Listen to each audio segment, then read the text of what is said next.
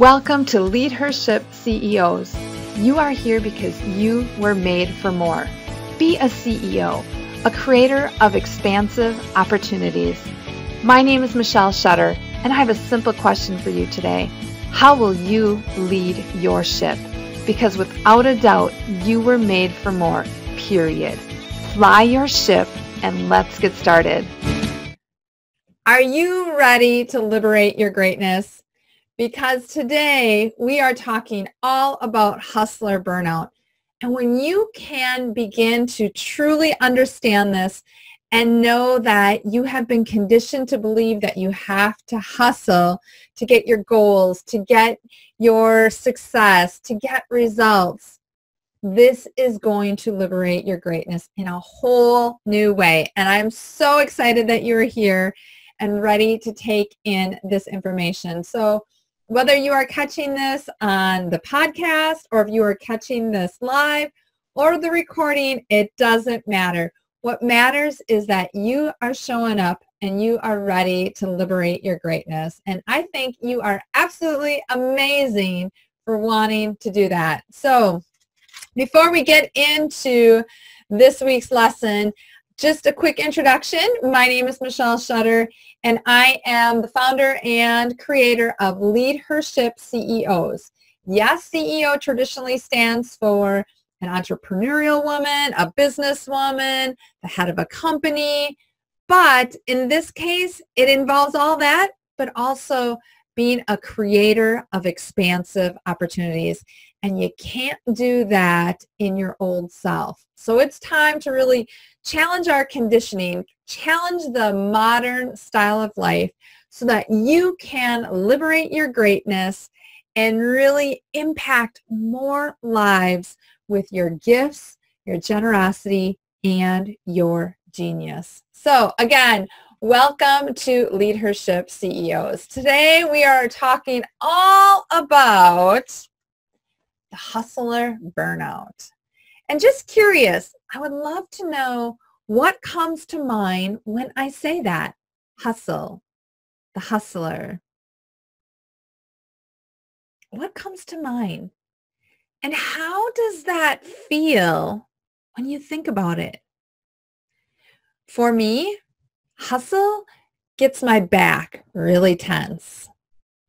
And when I think about hustle and merging that with my business, that's tense there are other times where I think like hustle has a different meaning for me or a different feeling for me. So if I'm competing in something um, athletic or if I'm out for a run or something that moves like is more pertaining to my body, hustle takes on a different meaning.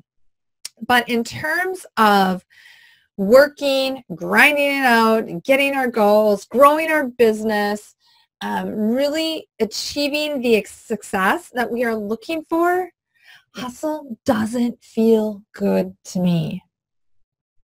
Can you relate to that at all? Does that resonate with you in any way? Because today I really want you to become super aware, super conscious of the hustler burnout. Because perhaps you just like me, it doesn't resonate with you. And perhaps this hustler burnout is exactly what is holding you back from what you truly want. And let's get beyond that. Let's liberate our greatness so that it doesn't impact us the way that it is. Because a hustler burnout has many characteristics, and I'm going to go through some of those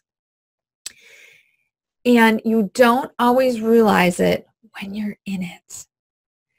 And that's why today, let's create the awareness, let's create the consciousness around this so that when it shows up for you, you can be like, yeah, that's the hustler burnout and I don't want to participate in that. I'm going to shift gears. I'm going to take a 90 degree turn.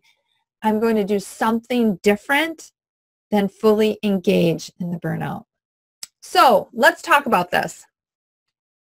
What are the characteristics of a hustler? Well, you got to work harder. You got to grind it out. You got to force. You got to push. You're not doing enough. You got to do more. Um, you rely heavily on luck. And it comes from a state of unconsciousness. But when you're in this, your stress levels are high. Why doesn't this work out for me? I, everybody, I see everybody else doing this and I can't make it work. What is wrong with me? You also go into a place of overwhelm where you become so worn out that at times you are physically, emotionally, spiritually exhausted. You're burnt out.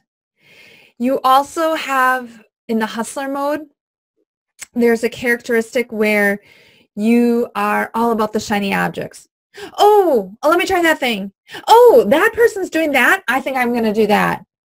Oh, look at that. Look at their success. Oh, I'm going to do that. And you're jumping from thing to thing to thing to thing. It's like you're on a trampoline and just every every time there's like a new spot, a new idea, you're just jumping on it, jumping on it, and there's no you're not grounded into anything. And you're all over the place. And truly, when you're in this hustler burnout, it feels like success is uphill pushing a boulder. And for many people, they truly believe that that is the only way to success. The only way is uphill, is to push, is to force. It has to be hard. It has to be heavy on us. It has to be tough. But guess what? It doesn't. It doesn't have to be any of that. It is not good for our souls. It is not good for our energetic alignment to be burning our candle at both ends. And that's what happens in the hustler movement or the hustler burnout. The burnout comes from the movement of, you know, you got to hustle, but that's the burnout. And then I want you to think about this other layer. If you are also a mom, you have another layer that bleeds into this and it can also cover it. And that is what I call moms, the maxed out mom syndrome, where it is a different level of burnout because you're taking on so many responsibilities and trying to do so many things and yet you're trying to grow a business or you're trying to reach your goals you're trying to find the success that you truly desire that is really about your purpose and passion. And you're not getting there. And so really you have almost two entities that are blended together and they're the force of them is taking you completely out of the game.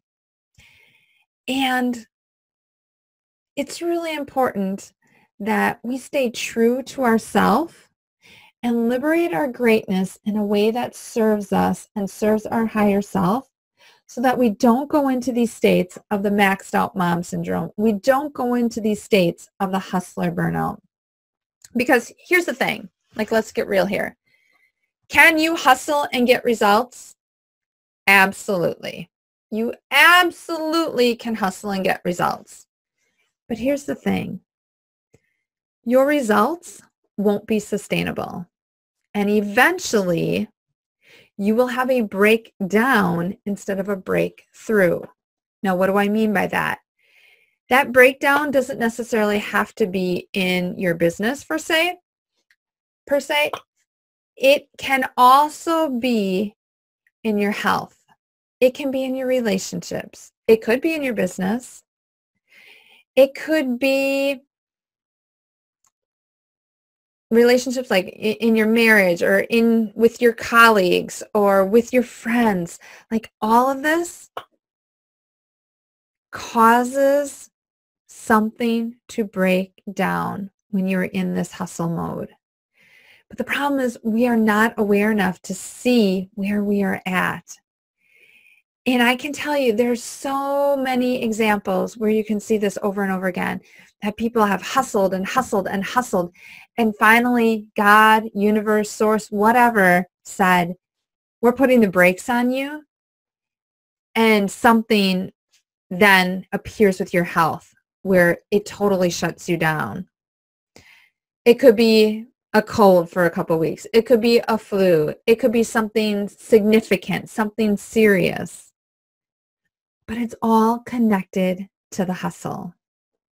Does it show up the next week? Does it show up the next month? No, no. You don't know when it's going to show up, but it shows up.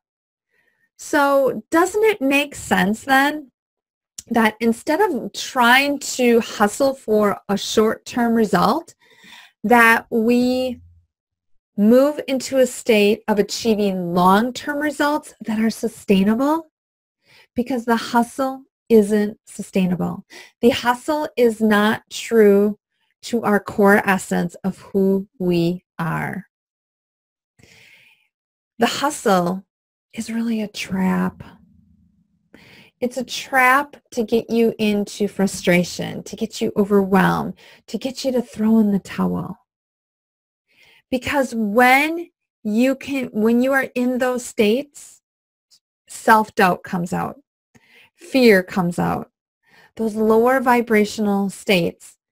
And then you can never achieve what you truly want because your current state is not a direct match to what you want. So think about that. Hustling is really about taking yourself right out of the present moment. Hustling is a disconnection from your true self. Because when you are hustling, it's coming from your ego mind. I got to work harder. I've got to do more. I've got to follow this and this and this and this.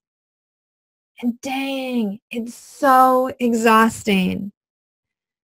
So why do we want to do that? Your true self does not want to do that. So let me share with you five principles when you feel like, you know what, I got to hustle. I've, I've got to do more. I, I've got to um, take more things on. I'm not enough. This isn't good enough. I want you to really think about these five principles. Maybe all five will resonate with you, or maybe just one will resonate with you. Especially think about this as you are growing a business, as you take on what people call a side hustle. think about these principles and then perhaps you can reconsider so that you do not land in the hustler burnout, the trap. Okay, number one, don't accept the hustle. As basic as that sounds, it's so true. Just because Sally Joe is hustling just because Bobby Sue is hustling, just because Joan, Joan Joan is hustling, does not make it true for you. You have to realize that there is the possibility of a different way. There is a different way because we live in duality just because someone is doing it and telling you this is the way it has to be does not mean that it's right for you. Do not accept it. Here's the thing. Hustling comes up a lot like around with businesses, especially around strategies. Here's the thing with strategies. They all work.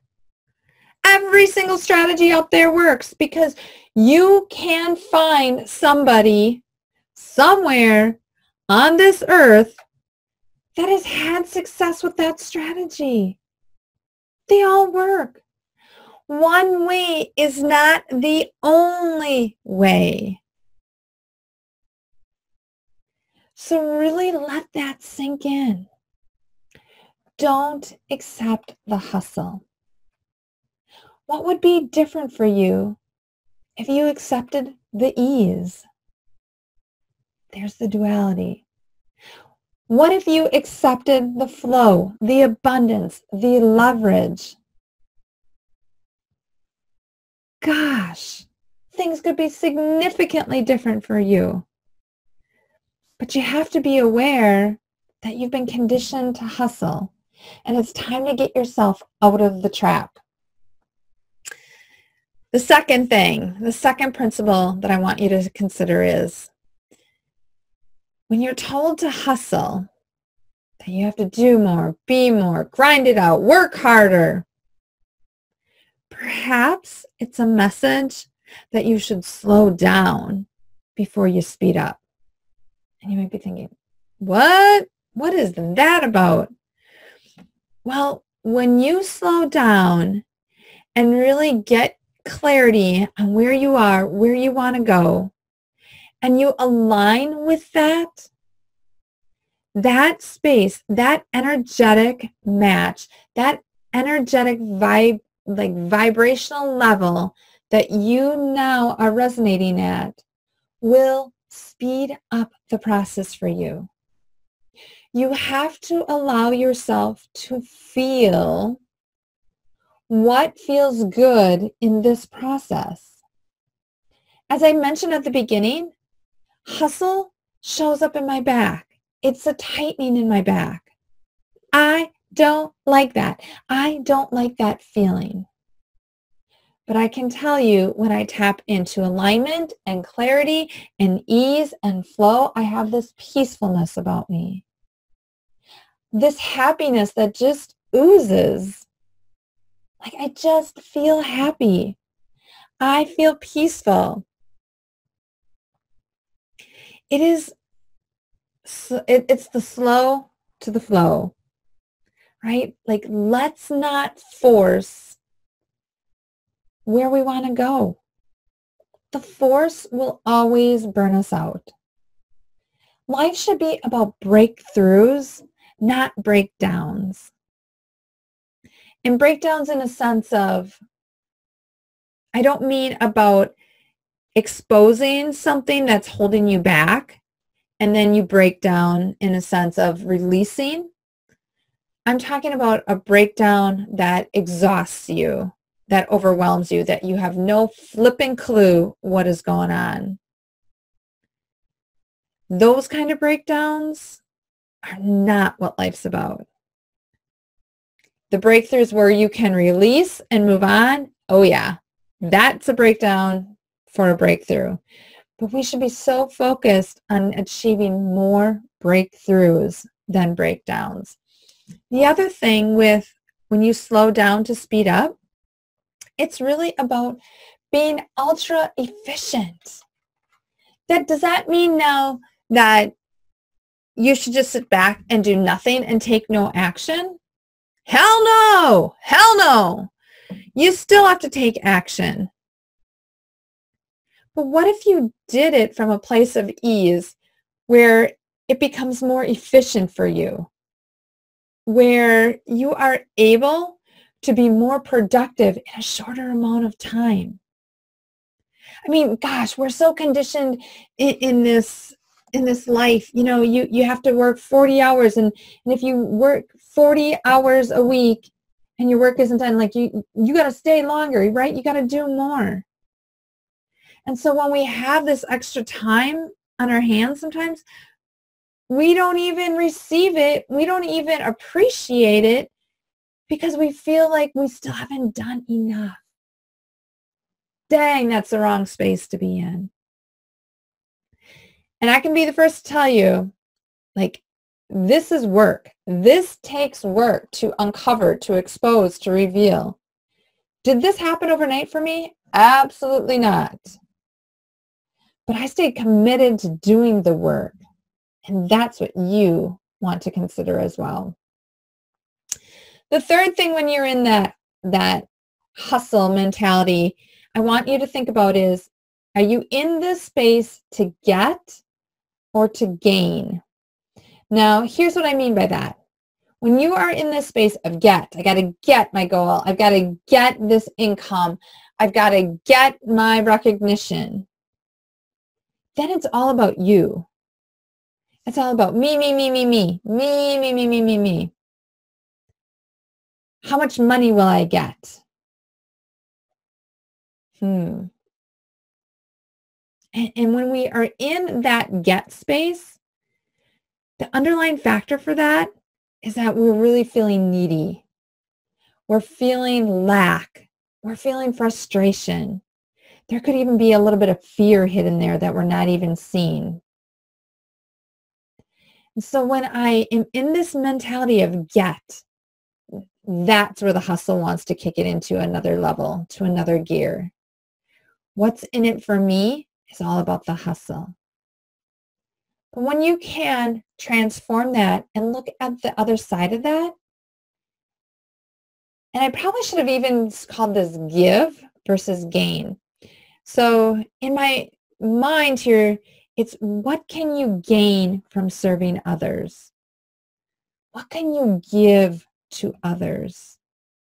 When you come from that place where you are serving people for their benefit, there is no hustle there. Because you are aligned with a higher vibrational energy level. You cannot come from a space of get from your heart. Get is all in your head. But when you come from that space of what can I gain from serving others, meaning that heart space, that gratitude for being able to support them and expecting nothing in return. Nothing in return. What can I give them? How can I help them? How can I support them? That comes from your heart. That is not the hustle. So that's principle number three. Hey, it's Michelle. What did you think of those first three principles? Well, I want you to know that I actually have two more for you.